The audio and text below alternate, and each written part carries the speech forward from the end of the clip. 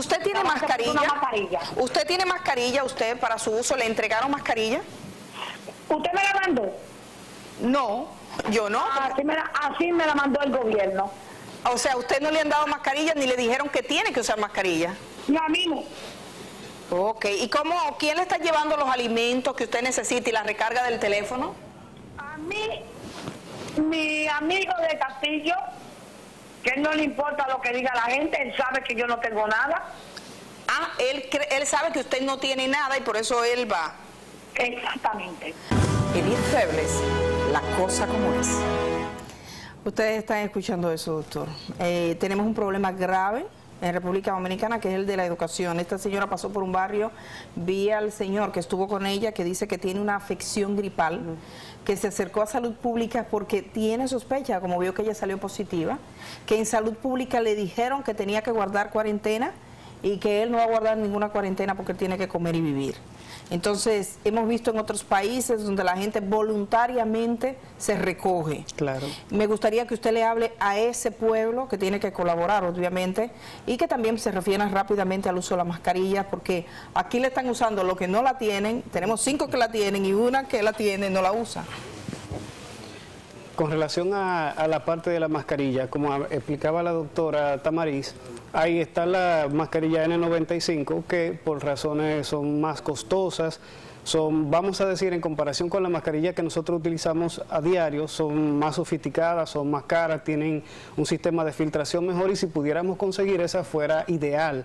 Pero lo que pasa es que tenemos que tener un manejo correcto de esa mascarilla. ¿Quiénes deben de usar mascarilla? No quiere decir, o sea, nosotros no podemos a armar un caos, ir a comprar todas las mascarillas porque quizás ni siquiera la necesitamos. Hay usos para esa mascarilla. Por ejemplo, en países asiáticos nosotros vemos que cuando ellos tienen un proceso gripal, usan mascarilla para proteger a las demás personas para que para no infectarla y también me estoy protegiendo yo. Entonces, una persona que está sana, que no tiene síntomas, que está en su casa, que está con que en su casa no hay ningún factor de riesgo, ninguno tiene gripe, entonces ¿por qué yo tengo que utilizar una mascarilla?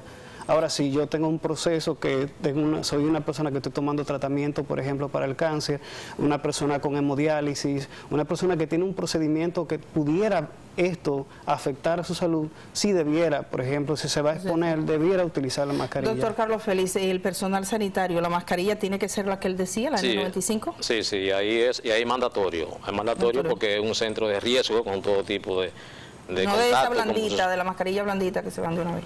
No, no, no. tiene que tener. Y además, además de que el elemento de riesgo, como decía el doctor, hay una serie de pacientes que están con su sistema inmunosuprimido. Yo fui al hospital del Seibo, doctor. Mm. El hospital del Seibo tiene muchísimos años de reconstrucción. Yo vi una llave en el centro de la emergencia y dije, ¡ay, qué chulo! Y una doctora me hizo que abriera la llave cuando fui no tenía agua.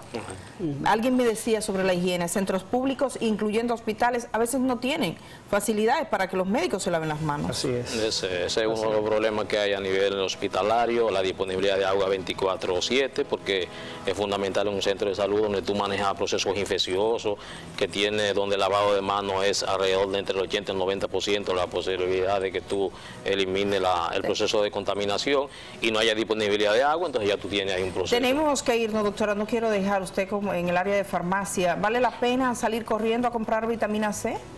No. El pánico no es bueno en ningún, en ningún evento. Aquí hay que mantener la calma.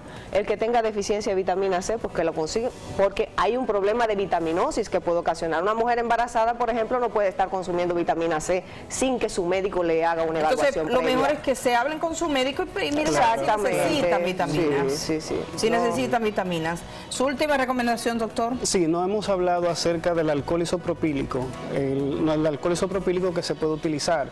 Si yo no puedo en un lugar determinado lavarme las manos, yo puedo utilizar, bueno, lo que la gente conoce como manos limpias, que es un nombre comercial, pero el alcohol isopropílico al 70%, yo puedo frotar mis manos por aproximadamente 20 segundos, todas las partes de las manos donde puedo tener las bacterias, siempre tener presente las manos limpias y no tocar las manos de los ojos, la boca y la nariz porque son puertas de entrada. Separar lo que son las manos de nuestra cara, lo más que podamos.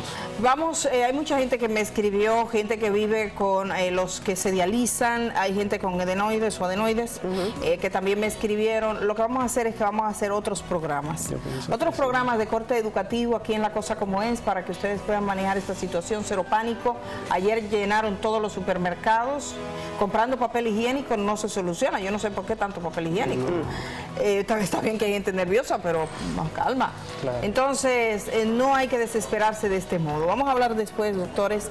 Gracias a los tres, a Karen Tamariz, a Carlos Díaz y al doctor Félix, Carlos Félix, por estar eh, esta mañana aquí con nosotros. Nos vamos y nos encontramos. Voten el domingo, todos a votar. Y el lunes aquí estamos, ojalá que con resultados electorales.